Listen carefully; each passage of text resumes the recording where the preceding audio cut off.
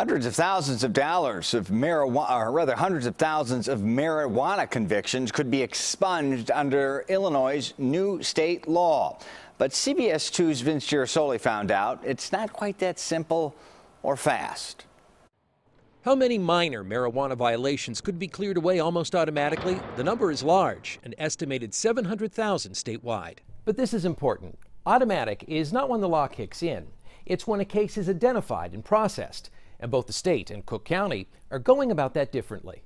Each start with the Illinois State Police, with officers reviewing databases for eligible cases individually. To date, the tedious process totals only 116,000.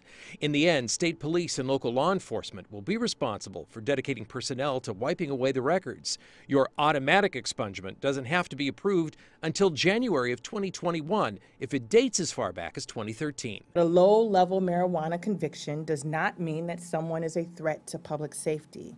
In August, State's Attorney Kim Foxx outlined Cook County's process, starting again with state police. But the nonprofit Code for America is using volunteers and special software to help more quickly identify cases. Following a judge's approval, local law enforcement or the state police must actually clear the record.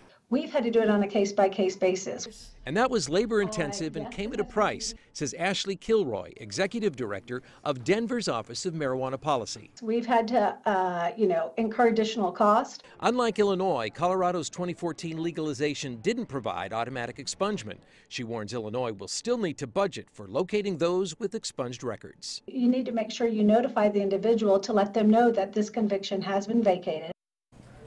Cases of marijuana possession of less than 30 grams qualify for automatic expungement as long as they aren't associated with violent crimes. But several police sources told us today the manpower needed to follow through with reviewing records will be a challenge. In the newsroom, Vince Gerasole, CBS 2 News. All right, thank you, Vince.